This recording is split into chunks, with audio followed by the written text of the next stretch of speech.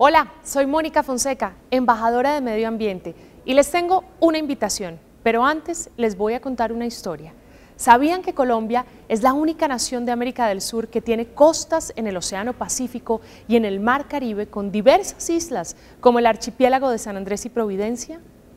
En el mundo, Colombia es uno de los países con mayores recursos hídricos, ríos, quebradas y nacimientos de agua.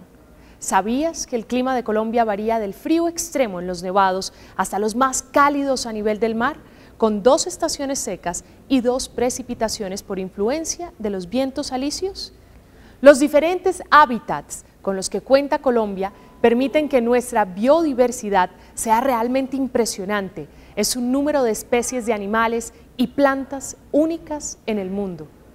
Pero lamentablemente la siembra de cultivos ilícitos está acabando lentamente con nuestra fauna y nuestra flora. En Colombia, los cultivos ilícitos se localizan en áreas estratégicamente seleccionadas por los narcotraficantes y que cumplen con ciertos requisitos indispensables.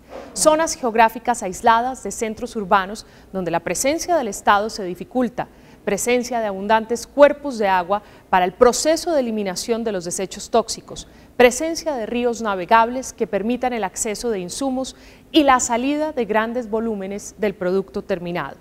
Nuestro país es un lugar mágico con diversos climas y rodeado de mucha naturaleza, abundantes ríos, selvas espesas que facilitan la labor de los grupos armados ilegales y la producción del narcotráfico. Es nuestra responsabilidad proteger el medio ambiente que nos rodea y rescatar nuestros valores, nuestra naturaleza y nuestra vida. Cuidar la riqueza de nuestro país y dar a nuestros hijos un mejor futuro es responsabilidad de todos. Yo, Mónica Fonseca, como embajadora del medio ambiente, estoy poniendo mi granito de arena. ¿Y tú qué estás haciendo por Colombia? Te invito a participar en el concurso nacional de fotografía Colombia, País de Contrastes. Entre todos podemos hacer la diferencia, es muy fácil. Entra a www.facebook.com slash Colombia País de Contrastes. Ahí está toda la información. Concurso organizado por la Embajada de Estados Unidos y el Ministerio de Ambiente y Desarrollo Sostenible y la Policía Nacional con el apoyo de El Tiempo y Aviatur.